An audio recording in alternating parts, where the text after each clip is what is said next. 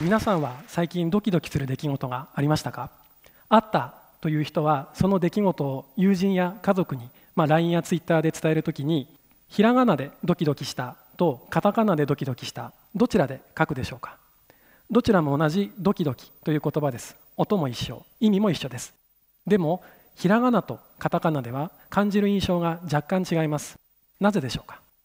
私たち日本人は日常生活の中で擬音語擬態語いわゆるオノマトペと呼ばれる言葉を多用します。オノマトペは私たちにたくさんのイメージを与えてくれます。これまでの研究でオノマトペから感じるイメージがひらがなとカタカナで若干変わるということが分かっています。これは特に肌触り感触に関するオノマトペで顕著に差が生まれるということが分かっています。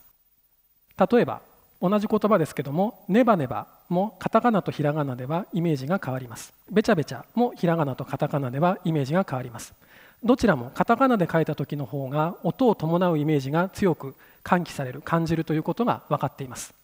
今ひらがなとカタカナのお話をしましたが私たち日本人は言葉の中でひらがなカタカナ漢字3つの表記を使い分けますが基本的にこれは固定されています。机を漢字で机と書くことはあってもカタカナで机と書くことはありません。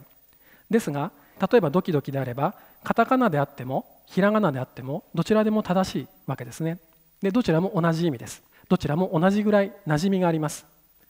ですが同じ馴染みがあって同じぐらい正しさがあって同じ意味を与えるのにもかかわらずひらがなとカタカナの書き分けたったこれだけの違いで感じるイメージが変わってしまうということが分かっているわけですね。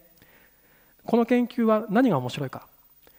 普通の言葉ではひらがなカタカナの間に違いがあった時になぜ違うのかということが説明できません。馴染みのせいかもしれません。ですがオノマトペであれば同じ馴染みであり同じ意味であり同じぐらい目にするのにひらがなとカタカナで全然違うという結果が出てくる。これは非常にユニークな結果です。こういった結果をどこで生かすかと考えると、まあ、例えば創作活動漫画とか小説とかいろんな創作活動の場面でも応用できますし広告マーケティング商品名なんかでも応用することができると思います。今日ここで私がお話ししたのは私たちが日常の中で何気なく心の中に思い浮かべるイメージがこんな簡単に変わってしまうんだよというお話をしました。で今日お話しした言葉のイメージ以外にも私たちは日常の中で何かを考えたり思い出したり想像したりあるいは何か間違ってしまったりもしくは人を好きになったり嫌いになったりいろんな心の働きを日常の中で使っています。これはとてもありふれている働きです。でもとても大事な働きです。